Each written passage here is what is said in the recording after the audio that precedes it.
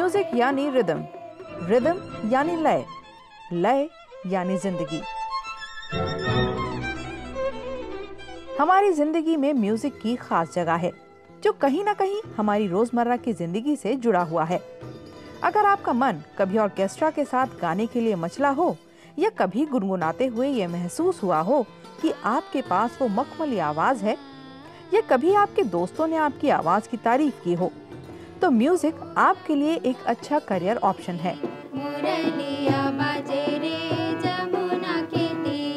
अपने अनुभव से तो ये कह सकती हूँ कि संगीत जो है महिलाओं के लिए काफ़ी अच्छा है। एक तो संगीत की सबसे बड़ी खासियत ये है कि ये बीमारियों से बहुत दूर रखता है क्योंकि जब गाना गाने से हमारे शरीर पे ब्लड प्रेशर पे हर चीज़ पे बहुत फ़र्क पड़ता है।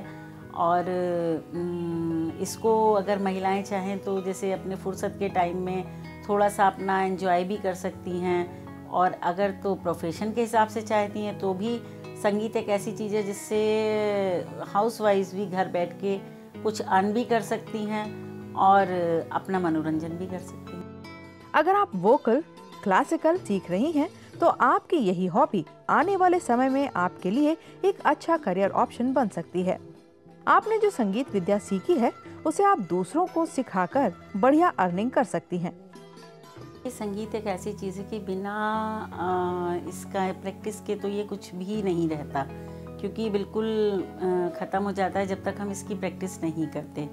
और अगर आप इसको अपने हॉबी के लिए करना चाहते हैं, तब भी आपको इसके लिए रियाज ज़रूर करना पड़ेगा। और आपको एक अपने डेली रूटीन में बनाना पड़ेगा कि मुझे हाफ़ एन आवर रियाज करना है या वन आवर करना है।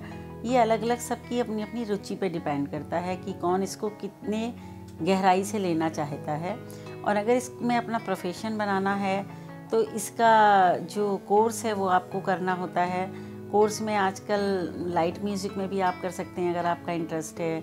और क्लासिकल में भी आप कर सकते हैं, तबले में भी आप कर सकते हैं। जिस भी सब्जेक्ट में आपकी रुचि है उसमें आप इसके लिए पूरे साल आप इसका क्लास ले सकते हैं। क्लास लेने के बाद इसके जो एग्ज़ाम होते हैं, वो एग्ज़ाम दे के आप जो है अपने प्रोफेशन में इस आ सकते हैं और आप इसमें अपना इंटरेस्ट डेवलप कर सकते हैं।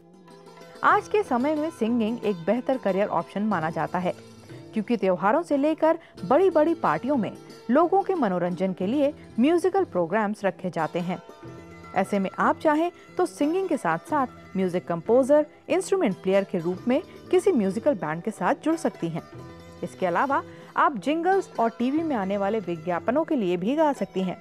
बस ज़रूरत है तो सिंगिंग के साथ साथ म्यूज़िक की अच्छी समझ की।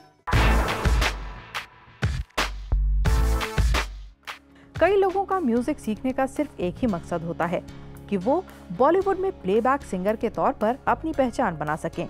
और इसके लिए वो टीवी पर आने वाले टैलेंट हंट में एंट्री पाने के लिए कड़ी मेहनत भी करते हैं।